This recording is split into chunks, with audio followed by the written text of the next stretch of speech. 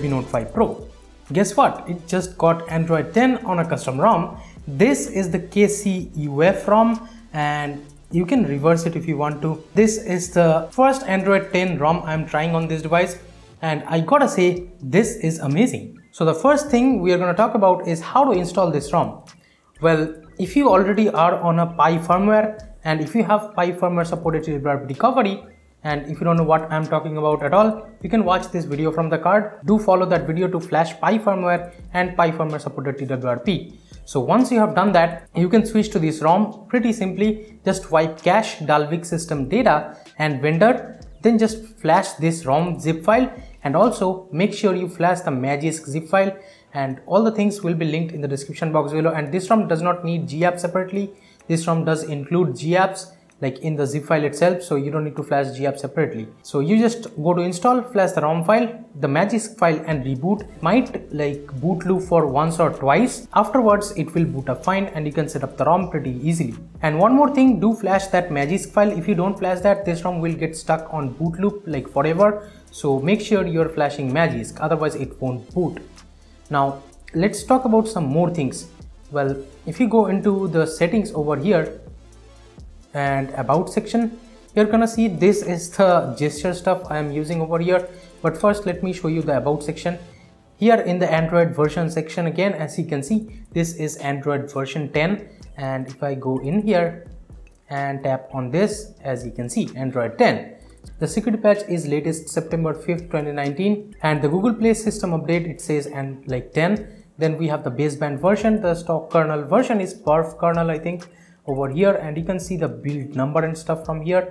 And let me go back. Now how I'm using these gestures you may ask? Well for that you have to go to system then gestures. Then here we have the system navigation. And in here you will find this gesture stuff. You will get this gesture navigation which I'm using right now of Android Pie. I'll explain it a little bit later. Here you do get the two buttons and three buttons of older Android versions. So that's great. This is the Pie one and this is the nougat kind of thing I think. Now if you go into these settings you can like have the sensitivity control of these gestures. I have a default.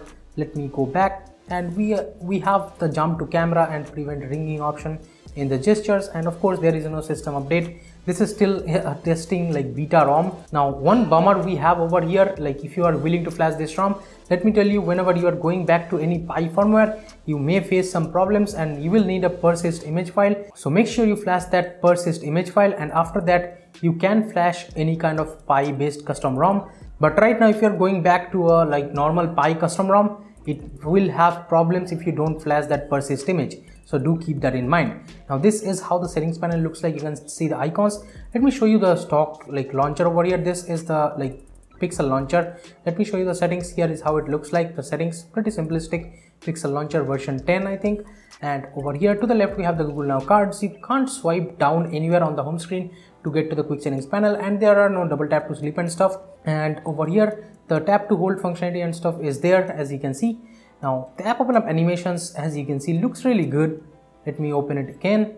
And going home is pretty simple. You just swipe up. And going back is pretty simple again. You just like swipe from the sides. As you can see it's pretty simple like MIUI so you can just go back from the sides. And if you want to have the like recents panel let me show you. You just pull it up like this and it appears like this. So as you can see this is how it works and the ROM already feels like pretty smooth no issues whatsoever. You can swipe up to remove one app from memory. And talking about VoLTE let me show you.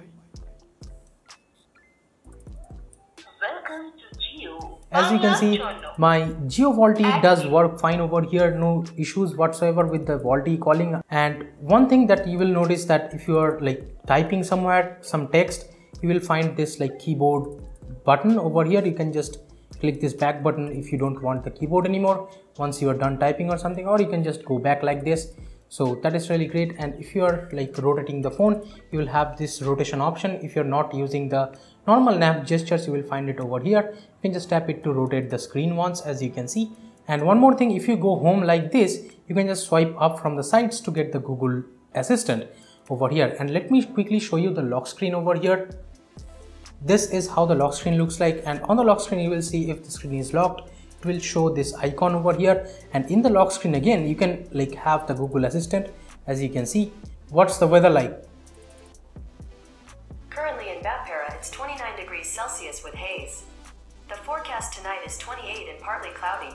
Due to the current humidity, it feels like it's 36.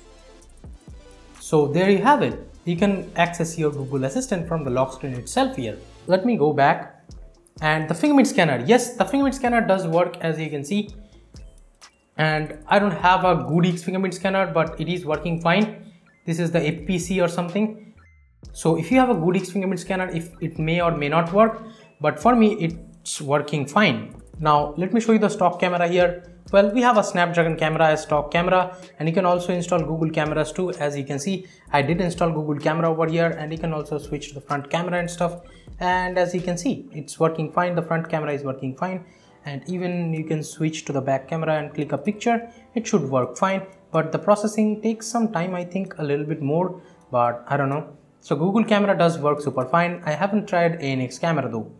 Now the sound is fine. The sound is working. I did test it over here and here is the here is how the power menu looks like as you can see. It also has an emergency option. And then if you want the volume panel this is how it looks like. It's kind of same as Pie but once you tap these settings you will find the volume panel like this. As you can see you can control the ring and then call then alarm volume over here. You can go to the like sound settings from here. And if you go advanced in the sound settings you can disable the touch vibration and stuff if you want to and even hotspot I tried over here hotspot does work Wi-Fi does work and even mobile data works. And with the hotspot you can have the hotspot and Wi-Fi connected at the same time. So that is a really cool thing. And yes it does support in MIUI and over here dark theme is there if you are really into some dark UI yes the dark theme option is there. Screen timeout is there. Then we have the display size changing option let me go back. Then we have the lock screen display option. You can have the lock screen like privacy controls over here. We have the double tap to wake. I did not test it. Let me test it quickly. Yes the double tap to wake as you just saw does work. And did you notice that animation of the lock screen?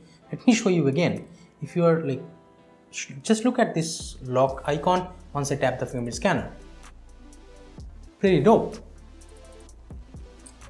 And nightlight let me test it quickly so looks like night light is not working over here but I'm fine with it. It's a beta Android 10 ROM. Here we of course have the digital well-being too if you're into it. Now let me go back inside security. This is how it looks like. Let me show you the battery settings. I'm not sure about the battery life but it should be pretty decent. Here is how it looks like the battery settings. You can have the battery percentage enabled from here. And what else? You can see the full usage from here as you can see and let me show you by opening some of the apps and how is the app open up speeds and the animations over here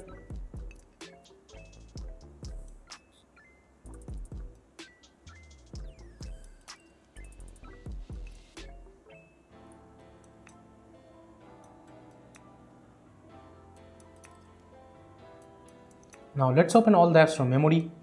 Just look at the animations. The animations looks pretty much seamless and pretty dope I would say. No complaints regarding the Android Q animations. Android 10 is lit and all the app stays in memory as you can see even on this device which is a 4GB RAM variant by the way and the whole UI is pretty smooth already and I can recommend you using this ROM pretty much I would say and you can put the phone into silent and vibrate of course from here as you can see so what do I think about this KCUF ROM? Well, yeah, if you are into custom ROMs, you can definitely flash this ROM and make sure you have Pie firmware and Pie supported TWRP recovery and that's how I think about this ROM guys but do keep one thing in mind that if you are like trying to go back to a older custom ROM on like based on Pie or like Pie firmware and Android Pie version you may face some problems and you have to flash a persist image file to go back to older custom ROMs if you are trying this ROM. So thank you so much for watching this video guys. Give it a thumbs up if you liked it. Subscribe to the channel down there if you have not yet. This is Tito from KTN Tech signing off for today and I'll be catching you guys in the next one. Bye bye now.